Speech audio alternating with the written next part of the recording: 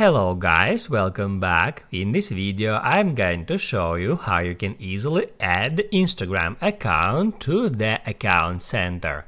Be sure to watch the video to the very end so you don't make any mistakes and of course do not forget to like this video and subscribe to my channel.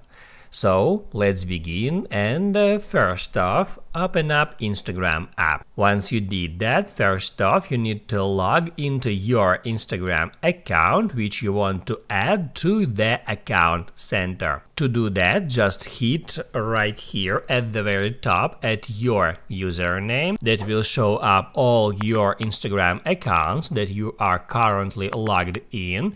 And uh, then just hit at uh, this plus sign where it says add account to log into new one.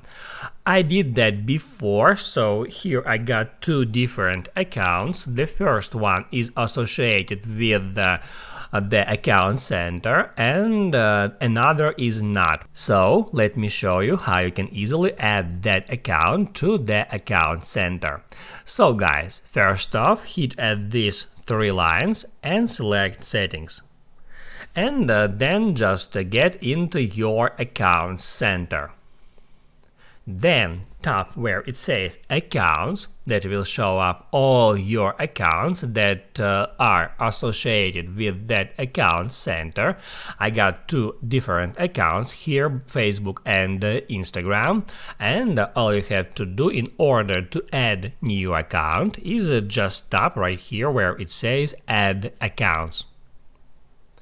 Then it will show you all the accounts that you can add here. That is my second Instagram account. I can just hit add continue and then just hit add add button. That's it. I have just added one more Instagram account to my account center. Now you can write down in the comments below if you have any questions about that tutorial and also I recommend you to check out my Instagram tutorials playlist which you can easily find in the description. Hit the like button if you liked that video and uh, see you in the next one.